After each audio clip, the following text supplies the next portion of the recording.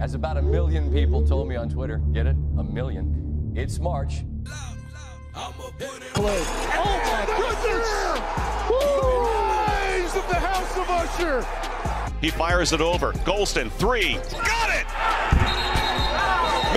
it! Milwaukee has tied the game. He's going to try the three. That's a tough one. And it's in. The bank's open. Oh, my goodness. We're going to a third overtime in Cleveland. Bam tips it up twice. It doesn't go count? in. It counts. Oh, my God. It counts. it, Bam.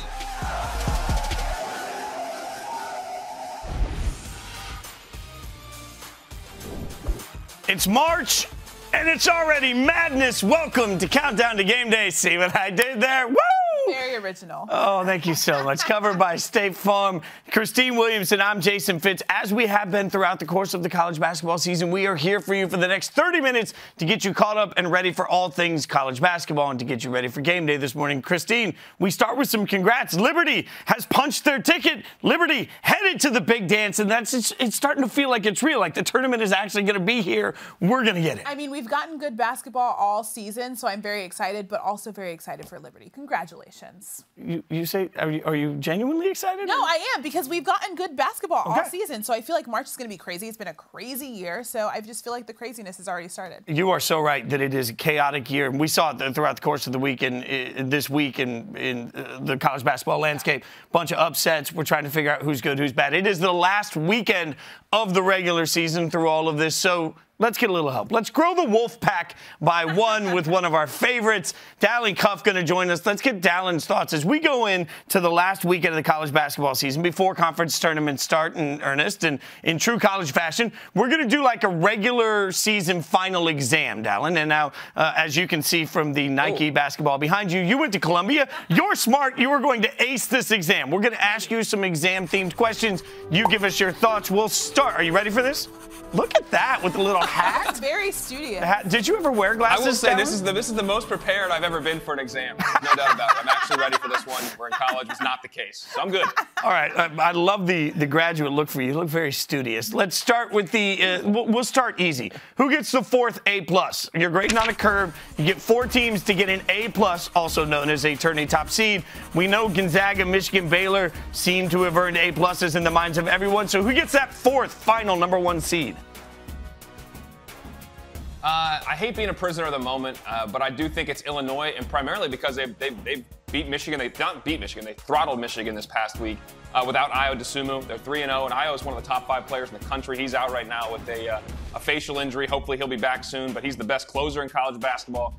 He's got multiple triple doubles on the year, and they went into Michigan and destroyed them without him. Andre Curbelo, the freshman, has emerged. Uh, you see Grandison's played better. Kofi Cockburn's been really good. Adam Miller, another freshman. So in the long term, when you get to the Big Ten tournament next week and the NCAA tournament, this is really going to benefit them to have these younger players in particular step up, own this role, and Trent Frazier be a leader for them and make plays as well and kind of own things without Ayo in there. So I give them the A plus. I think they get the fourth one seed. They have eight quad one wins. Uh, now the Big Ten tournament is going to be brutal, and they could lose in the first round, and that may change the equation. But I think in the balance of the year, when you look at their resume, compare with Alabama's, Iowa's, Ohio State's, the other teams in that running, I think Illinois is slightly better and even more impressive because did what they did this past week without Ayo. I mean, we've been trying to figure out who the fourth, third, fourth best team in the country is all season, so it'll be interesting to watch that play out. All right, next up. Who will finish as valedictorian? Of course, Gonzaga is the only remaining undefeated team and has been the, is the number one team in the AP poll. They've been that way the whole season. Now, are you going to take Gonzaga or the field to win the tournament? This is easy, Christine. This is this isn't this isn't multiple choice. This is a simple, you know, one word answer. The field. I mean, this is this is no problem because not because Gonzaga's not great. You can't leave out Baylor. Like when you leave out Baylor, right now in Vegas, you can bet Gonzaga, Baylor, or the field. And in that one, I've said multiple times, I think it's crazy, but I would take Gonzaga or Baylor over the field. That's how much respect I have for both their programs. Baylor is back to where they were pre Pre their COVID pause, they were at a great comfort behind win against WVU. Follow that up with a more dominant performance against Oklahoma State at home. This team is back where they are. If you're going to give me everybody else, including them, then I take the field. You throw in Baylor, eh, different discussion. But this one, I, I got this. I'll take the field over the Zags. Look, this always feels, by the way, like the easiest bet. Whenever you have the option of one or a hundred things over here, I take the hundred. It just seems like good. By the way, a little tease here. We'll add some Baylor star power to the show in just a few minutes. All right, we're gonna keep this going. Uh, we'll get a little turn paper action here. Who do you think is most likely to fail their turn paper? In other words, what big name team most likely to go out early in the tourney? Having me have flashbacks to the history of the Mongols. I won't uh, explain that story, but it did not go well for me. Uh, that did not end well. Um, I will say UVA, who are still the defending champs, which is kind of weird. They are, they are the defending national champs and clearly a different crew. Jay Huff, who's getting scored on down there, as well as Kihei Clark, played on that national championship team. But that's the problem. Defensively, UVA is not what they have always been through Tony Bennett's tenure. They're 30th in the nation in adjusted defensive efficiency. They have not been that low since 2011.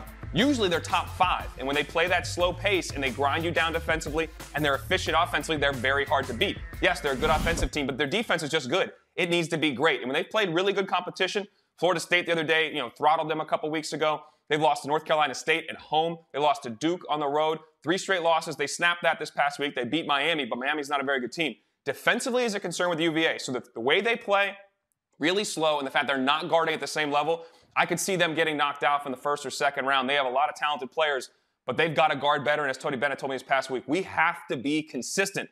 And we just have not been consistent on the defensive end. I don't think all of a sudden it's just going to happen when it gets to March. So they could probably be of the other of the big brand name teams. A lot of them may not be in the dance, like Duke and Duke and Kentucky. UVA will be there. They could just get bounced early. The ACC has been so interesting this year. I know you cover the ACC a lot. It's just very interesting. A word. Very yeah, yeah, I like that. I like that word. It's a nice word to use. um, okay, so you mentioned how the Big yeah. Ten tournament will be very tough for whatever team will come out of there. So this question is: Who needs to ace the ACC or the the tourney, the tourney in general? I feel like I just gave that answer away. But who needs to ace their conference tournament?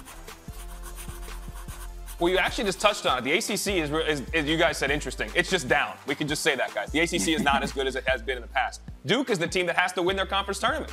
Right now, they're on the outside looking in. They've lost back-to-back games. They lost to Louisville at home last Saturday. Louisville was on the right side of the bubble right now. Duke on the wrong side of the bubble. Then Duke follows that up with a loss in the middle of the week on the road. Another bu- bubble team, Georgia Tech. When you lose to other teams that are right there in your space, that's not good. Those are big opportunities that they've flushed down the toilet. They got Carolina at home. I mean, uh, Carolina on the road later today, 6 o'clock on ESPN. Huge game. They have to win that.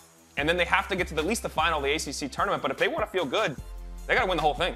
They got if they got to win the ACC tournament and, and, earn their seat at the table in the NCAA tournament. That's that, that's their best path. That's the path that guarantees they can get there. I'm not sure they can do it, but when you look around the country, they are the biggest brand name in college basketball that is that is on the wrong side of the bubble right now. The only way to rectify that and control your own situation is to win the whole thing. They got to win their tournament.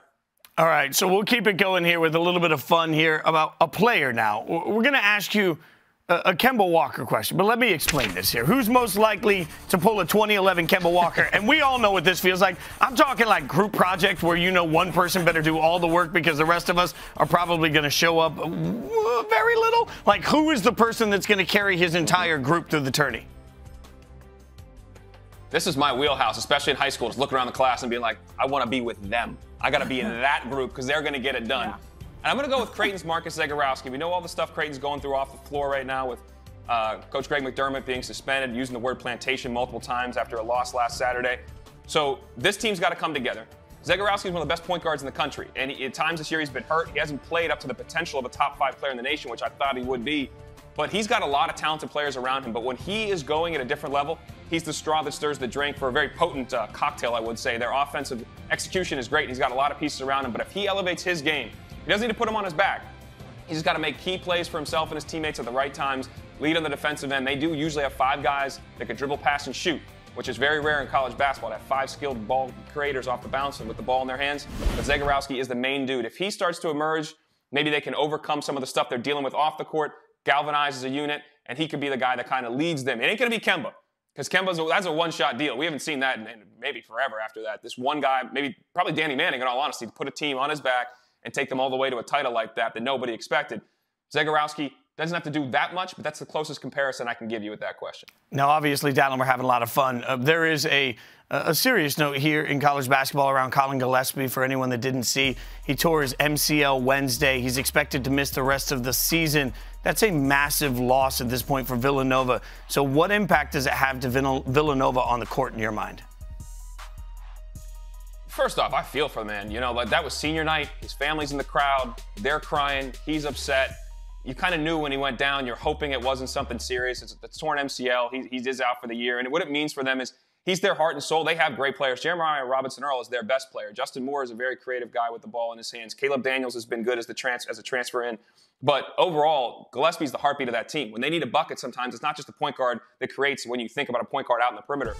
They'll put him in the post and they can play through him on the block, and he's able to score and facilitate offense from there. He poses a lot of problems, and he, he is, again, their heart and soul. So to lose him at this point in time, when you really don't have much time to figure out how, how J. Rod doesn't have time to figure out how do we correct this? How do we fill in? How do we play differently?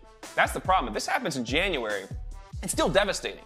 But you have a chance, you have time to figure out and tinker with things and work with things. They're going right into a game on Saturday, and then they got the, the game today, and then they have the Big East tournament. And, and you're right into tournament time, do or die. So this is a brutal loss. Feel for him. This is the best culture in college basketball, but even their culture can't sustain a blow like this. You have to find a way. They'll always be together and playing hard, but when you lose a guy like this, it does ding you. I'm interested to see how they bounce back and how they try to play differently. I just feel for, for their entire club and him, particularly as a senior, to have that happen on senior night. Yeah, I think that echoes the sentiment of so many of us that you worry about the team, but ultimately the individual with that sort of an injury. All right, let's get back to having a little bit of fun here. Dalen, usually we like to do who's hooping, but this week we thought we'd mix it up a little bit and start with the opposite. Who's not hooping. We'll take a look at some uh, plays gone mm. wrong here, and we'll start with a little Seton Hall action. So this is Bryce Aiken, and you know, trash talking sometimes goes a little wrong. He's at the line. He's 23 and 23 on the season. Then this happens. I ain't never missing. Oh, I ain't never missing. Oh, I ain't never missing. Oh, I ain't never missing. Oh. I mean, I like the confidence, but Lord, Dalen, you ever uh, you ever put yourself in a pickle there with the trash talking? Uh, I mean, I'm sure I have. There's there, that, that's undoubted, and actually, that, that's probably the place that I would have most likely have done it. As the free throw line, because I mean, I, I, was money at the line like Bryce is. Bryce is a grad transfer from Harvard too. This is a really smart, talented young man that's had some injury issues in his career. Um, steps to the line like that. The bigger problem, you know what technically what the issue was? It wasn't the talking. He leaned back as he yeah. shot it. He started moving back, which he, he, he was like in it. He's talking. He's not thinking about his mechanics, and then it was in his head. He missed the next one too, and he missed it long. You could see him almost force it. He leaned into the shot. So him talking trash got in his own head and he started messing with his mechanics, which are usually picture perfect on the free throw line. So not not the smartest move for a, a talented young man. I I love that because uh, he also missed the second one, so then he became 23 and 25. It's amazing. I can't believe that happened. All right, next up. What yeah. was that? Last night, Louisiana Monroe taking on South Alabama. Shot clock winding down. Monroe's Monroe's Marso, this is a alliteration here. Marco Morency is wide open, and can you please just explain what exactly he's doing? What happened here? What what happened? You want me to explain that? you want me to articulate what happened there? I don't know if I have anything for you. What I can most liken it to, I don't know if he's got like a mental block, but have anybody seen Charles Barkley swing a swing a golf club? That's what this looked like to me. Like, I don't know why you're double clutching. There's nobody around. The shot clock's winding down. even bad shooters at this time are most comfortable because you have no choice. You have to rise and shoot the ball. There's no option. There's nobody around you, and the shot clock's about to expire. Just stroke that thing. He double clutches, and I, I mean, I don't think I've ever seen this in a Division One game where a guy missed a shot that bad, that was that open, and for no reason double pumped. Yeah, like, there are no extra points for double pumping. I don't know what that was. All I know here is that if Dalen and I were playing on the same team in a pickup game, I would never. If I did that, I would never see the ball again. He would just he would just look at me and say, "You go sit down. We'll play with four. All right, let's uh, let's go to a little game. You, you, you, should you should walk you should walk right off the floor. You should, if you do that, you should just walk right off. And afterwards, you see what he did? He did the old wipe his hands off. Oh yeah. Like, yeah. dude, What's that ain't about your hands. That ball could be covered in ice. That ain't about that. I don't know what that was. At least he didn't say my bad, like we don't know. Okay, so let's get to the next one. A little bit of game situation here. You got to know what's going on. Northern Colorado versus Weber State. Tie game under 10 seconds to go. Northern Colorado misses the shot. Overtime, right? That's what they think. But no! Northern Colorado's Daylen Kountz mistakenly fouls. Weber State would hit a free throw and win. I mean, there was just no reason to do anything here, and he comes in and fouls him. Heartbreaking. Oh, heartbreaking did moment. You, did you say his name was Dalen or Jalen? What did you say his name was? Uh, uh, Dalen. Da- Dalen is what's in the. So uh, is he spell? I hope he, if he spells It's it the same way as me, and he's technically my namesake, pronounces it differently. He's he's not your namesake. It's D A Okay, Y L E well, N. he's got a Y. He's got a Y in there, Dalen. Okay, good. I'm glad it's. I'm glad. I, I mean, they people mispronounce my name that way all the time. I'm glad it's not my namesake because this one, this is tough, man. You you gotta know that. You gotta know the time and scoring situation. I don't want to pile on the young man because he just ended their season. But this stuff is inexcusable, and I don't know how that happens when you don't know the score. It's basically, you do know, do you know the score of the game you're playing in?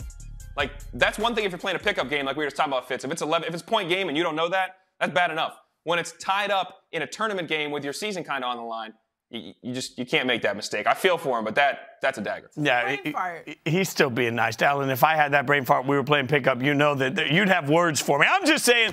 You always make the Wolfpack better when you come on. Thank you so much for hanging out with us this morning. Have a great day. We appreciate you, my friend. It's been fun all year, guys. Have a good one. All right, you guys know you want to be on college game day. All you got to do is go to collegegameday.com to enter for a chance to virtually join Rece, Jay, LaPhonso, and Seth this season on College Game Day. Today is the last day to enter, so stop wasting time. Get out there, do it, do it now. All right, people. Baylor men's basketball is 20 and one on the season. They're They good. Three in the AP poll. They're kind of good. So naturally, we're going to welcome in this guy, Jared Butler, Baylor guard, to join the show. This is our second Baylor player to join the show. So I want to ask you first before we get to the basketball stuff. We still want to talk about competition, but something a little different. We talked to MaCio Teague last month. Listen to this. I saw an article about the fact that you and Jared Butler like to go head to head and play Uno. So I was wondering, I mean, obviously you guys are undefeated as teammates, but somebody has to be the winner and the loser in the head to head matchup with Uno. So who's the champion amongst you two? Uh, the score is 11 and 4 right now, and I am winning. Oh, wow. Yeah, I, I, so I don't I don't know where where the shirt thing came from, but uh, I am definitely winning the series right now by a lot. Is that a statement to your greatness at the game or his terribleness at the game? No, I'm just I, I think that I'm definitely a top uh, one player in the world. So I would say it's for me. All right, Jared, what are your thoughts on this? I, I so I love that he brought that up. Um, he is winning right now. He's Oh, winning. wow. It's like eleven to four. Wow. Um, but the only it's it's the crazy thing is he's only gotten up in like a span of like um, a week. We were on the road and we played Uno for about you know all day, two days in a row, and he won. He got lucky.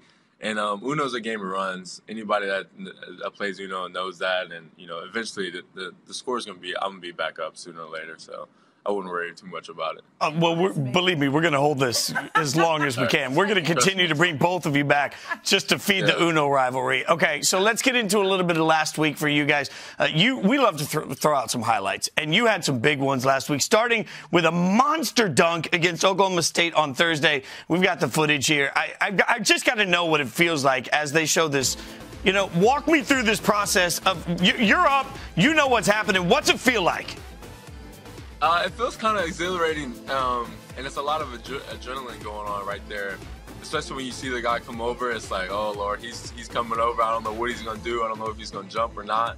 But I'm all I'm thinking in my head is I better jump as high as I can, and uh, that's it. But um, no, that's it. Yeah, what makes you more professional than me is that you walked away from him afterwards. I mean, I would have been right there just reminding him the entire time. That wasn't your only great highlight, though. We've also got this one the game tying layup, two seconds left against number six, West Virginia, in a huge game on Tuesday. Sent this game to overtime. So, what's better, a huge dunk or a game tying layup at the end?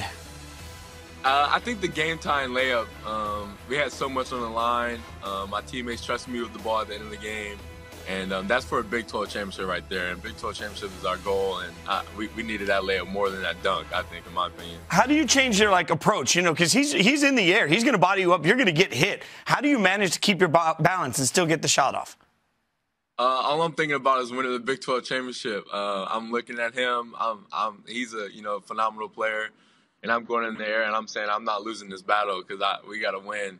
And um, I, I'm just waiting for him to go down as I stay in there and just finish the layup. But um, yeah, that's that's Big 12 championship on mine all all day. I mean, you mentioned that. It's Baylor's first ever Big 12 championship, also the first conference title since 1950. That's a very long time, no offense. Yeah. But uh, how does it feel to win the championship and run the table th- like this? Uh, it feels amazing. Um, Coach Drew and the staff, um, they've done such a great job of, with us. And um, I think it's just divinely ori- orientated how, um, how we all came together. Um, we're such a great group of guys. Everybody's humble. Everybody's willing to win and sacrifice for the team. And um, I, I, love being around these guys. So it's, it's, it's, a special moment just being with the group of guys. And, as you can see, Baylor Nation was, was amazing that night too. but I, I, enjoyed it, and it means a lot to us and the years to come. Now, you guys uh, last month missed uh, three weeks, about three weeks due to COVID. Your team struggled in the first few games back. You've talked a little bit about it, and I know uh, you've been asked after Thursday's game. You said you guys are only at about 75%. So, a little real talk here. How has COVID impacted the way that you guys are playing right now? Yeah, college basketball is hard um, emotionally, um, physically. So, taking three weeks off, like for a while, uh, for a while there, I thought I was like a regular student just just going to class, not having practice, um, just kind of not in the game mode, you know. And um, in college basketball, you have to be in that mode all the time with all the games. And um, but I think we're slowly getting back to it, and uh, we're slowly getting our, our legs back underneath us, which is good. And our defense is expanding, getting better a little bit day by day. So, um, you know, I'm just excited to, for us to be back to where we were before the COVID. You talked about how college basketball is hard. Scott Drew actually said the Big 12 is hard before you guys lost to Kansas last week. Um, that was very, it was a little bit of foreshadowing, kind of odd. But you guys have one loss. Gonzaga has no losses. Michigan's still kind of creeping up. There's teams that are going into this tournament and anything is possible. How are you feeling with your chances going into the tournament? I'm feeling really good. Um, I think our team is is um, headed in the right direction right now, especially after the adversity that we had all season.